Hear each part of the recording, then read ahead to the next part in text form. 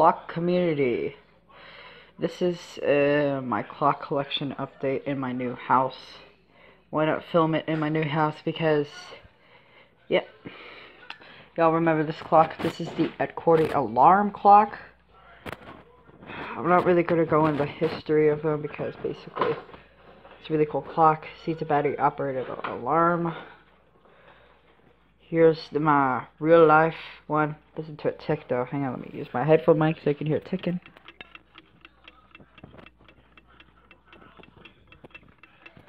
Yep, it has really loud tick. Whoa, God, I almost fell. Here's my Seth Thomas clock, but the hands are a little bit off, see? I don't know how to fix that. Here's my Arcua, um, alarm clock. It's made for anniversary, see? Timeless Love. Happy 50th anniversary. Here's my big, huge, um, uh, mantle clock. Here's the other Edcordi, um, uh, uh, wall clock. Here's what I call my school clock, because it moves just like a school. Look at, look, the hand has trouble moving, though. I don't know if you can see it. Yeah, see? Um, because it's almost dying. Uh, this is my other mantle clock. It's really nice, really nice. Here are my two clocks. Here's the, the black version. Here's the Sky Timer Rooster clock. And there's the blue one over there. Here's the big alarm clock with loud bells. Here, let me show you. Very nice.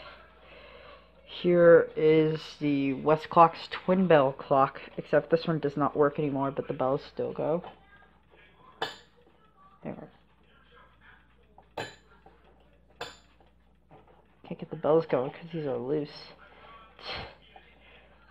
Tight. There, basically that's all I can get out of it. The next one is the Westclox Big Ben. This is the battery operated version. I want to get the real one. Basically, from that little thing-a-ling, you heard what it sounds like. This one is the Westclox, um, I don't really know what the hell this clock is, basically. Focus. Look at the second hand, it's like, no, that's not the second hand, the second hand is right there. It's a really detailed clock show you what it sounds like. Yeah. Here's my other school clock, which is actually running now, see? I actually didn't know that the second hand actually moved like this. There's another rooster clock right there. There's my Lionel train clock. And there's my spaghetti clock. I'm not sure if I missed any clocks back here. Uh, nope, I don't think I did. Alright, let's move on to the wall.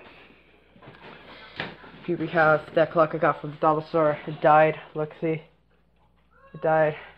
Here's one that's actually still running. This is the second model. I call this one the dirty model. Here's my, I call this the Seiko ripoff because the face looks like the Seiko clock. Here's the mini pocket watch, like the mini biggest pocket watch, which I thought was the world's biggest. It actually is running. And put my mic up to it. Yeah, it actually is running. So, yeah, it is ticking. Um, it's a really great clock. It's hung by pushpin. Oh god. Alright. Here's my lab clock. I got this for my birthday. It reminds me of cinnamon, Saya, and I don't know. Probably Samba. Here's the Enneagram clock, which died. As you can see, it has trouble moving the second hand. Here's my Dangle Dingle wall clock. This one has trouble moving too. Here is the um, other rooster clock. Um, here is the world's biggest pocket watch. Here's the key clock, which basically has died too. Here is the other Seiko ripoff, and if this one would be chiming, it would have been going off in about, I don't know. Some other clocks in there. There's the cat one. There's the Westminster Schoolhouse clock that you all love. And look what it is, the Melody clock. There's the Sterling and Noble clock right there. The Howard Miller grandfather clock top. I like to call it that because it looks like the top of a grandfather clock. Here's the masterpiece uh, um, wall clock. Here's a close up of this one. Here is a uh, mantle clock, 24 hours. Here's just 24 hour time. This one does not work anymore. And here's the Hermle look like wall clock. Looks pretty nice. And here's some wall clocks on the ground. Here's a mantle clock. This one basically has problem with. All I need to do is just tape the movement and it'll be back. Oh god, there's my handles. This one is a anniversary clock. This is my second of two. I haven't put that on the shelf yet. This one is the Spartavius clock. I call it that because I want it to. Why not? With this, you can see my uh, dollar, my other dollar store clock. This one I believe I got for Christmas. Is my bowling clock. I got this for my birthday. Once again, another rooster clock. Still haven't hung that on hung that up on the wall yet.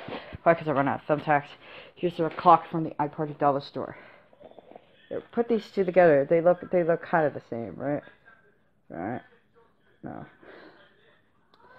And here's my two clocks from the dollar store. This one, this one is the black-faced version. See?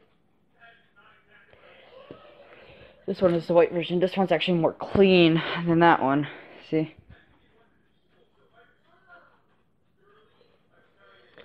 Well, to me, it looks clean.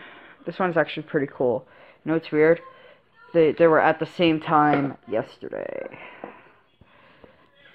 And here's my Harold Brothers clock. I don't know if it's silver or not, but I just need I just need to take this clock apart because look at the paper, uh, look at the face. It's kind of it's kind of pushed in and the hands have trouble, you know, ticking because of the fact that it is actually pushed in.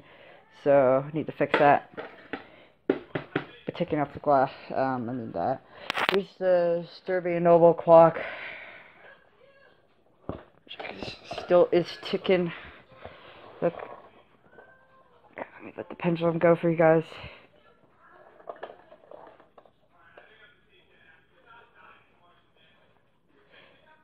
It's a great clock. I need to get a nail for this to go on the wall. Need the batteries for it too. Maybe when I go to my mom's room, maybe I might take some batteries. well, just for the, you know, the pendulum clocks. And here's the front. I don't, I need to find the pendulum for it. I know it's in one of these boxes. Okay. This is clock close